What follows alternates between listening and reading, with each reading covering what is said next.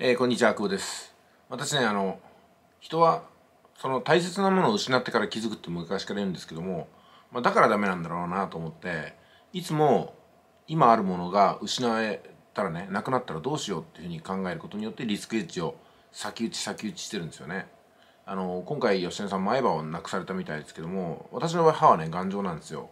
というのが、この歯がなくなったらどんな目に遭うかってことを、まあ情報として先に知ってるからなんですよね。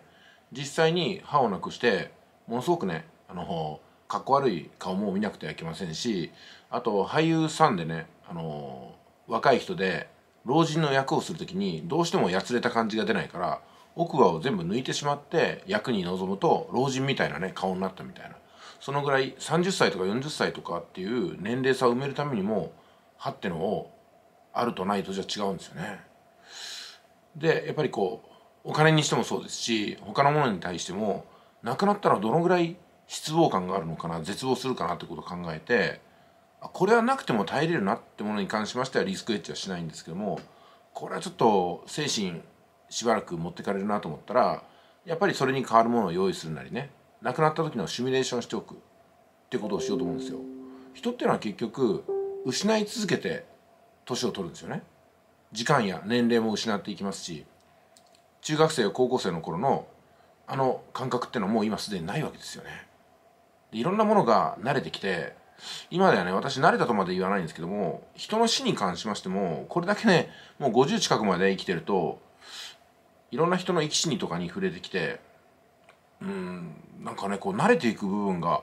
もうちょっとしたら出てくるんじゃないかなと思ってるんですよ。うんまあ、自分の身内の死とかにも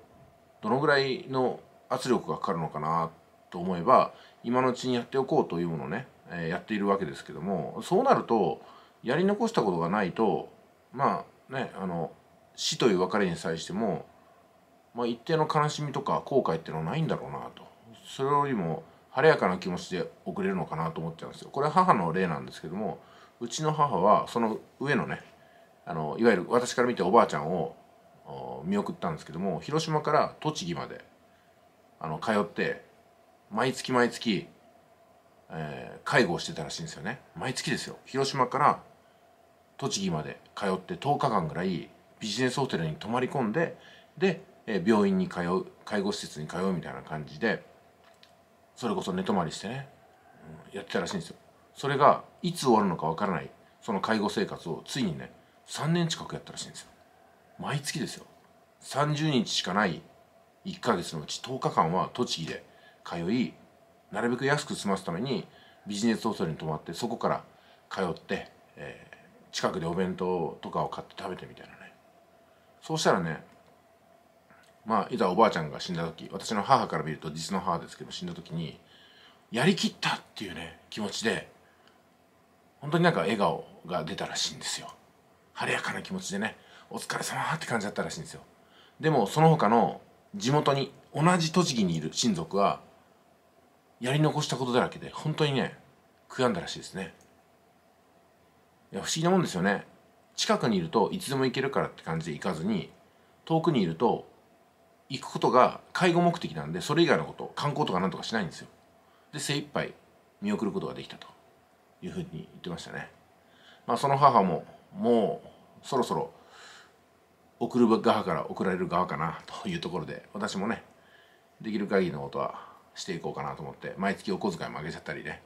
まあ、一緒に過ごす時間を持ったりしてるんですけどもね。一昨年は一緒に栃木に行って、まあ、母のね幼い頃に過ごした場所を一緒に回るみたいなことをしてビデオを作ってあげたりとかしてね感動してましたけどね、うん、うん、まあネットビジネスね。ビジネス何なんでしょうね。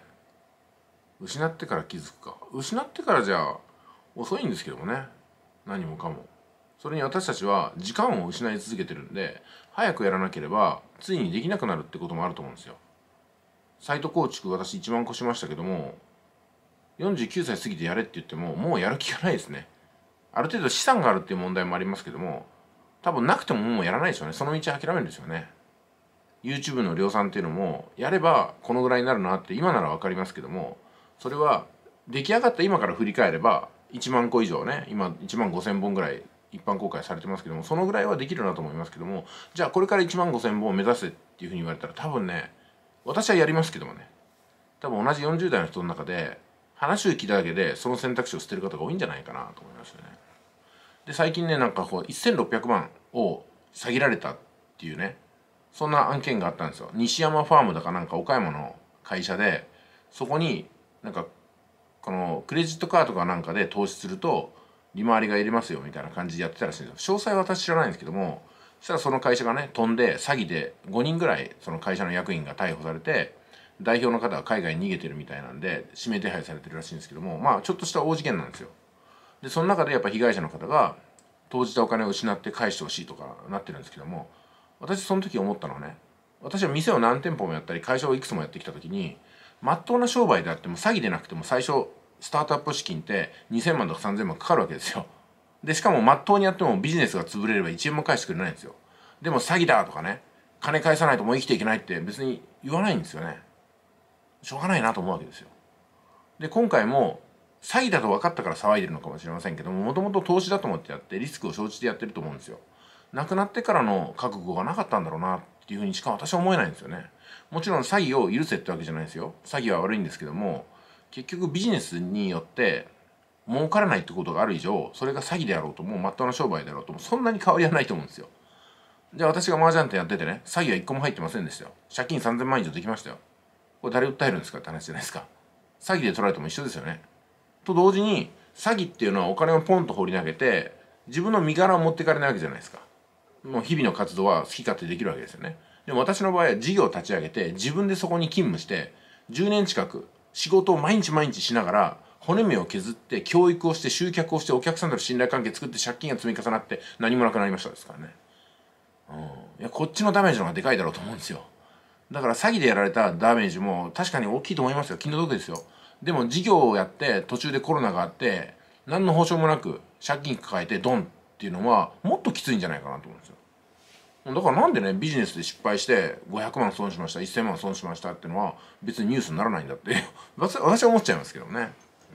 まあ失ってから気づいたんじゃ何もかも遅いってことなんで失う前になくなったらどうしようっていうふうなね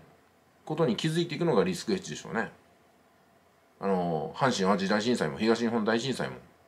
もう地震が起きたら何が起こるかってことはもう痛いほど分かってるはずなのに今日ね令和3年10月18日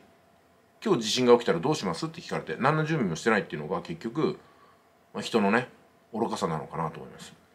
うん、私はもうそういうドジを踏まないように徹底的に準備をしてそれでも結果が思わしくなかったらそれはね晴れやかな気持ちであ諦めようと天中だと思うことにしてます。でも自分のミスでできる準備ができなかったしなかったがゆえに被害を受けるのは本当に悔やんでも悔やみきれないなって気持ちになりますね。いってらっしゃい。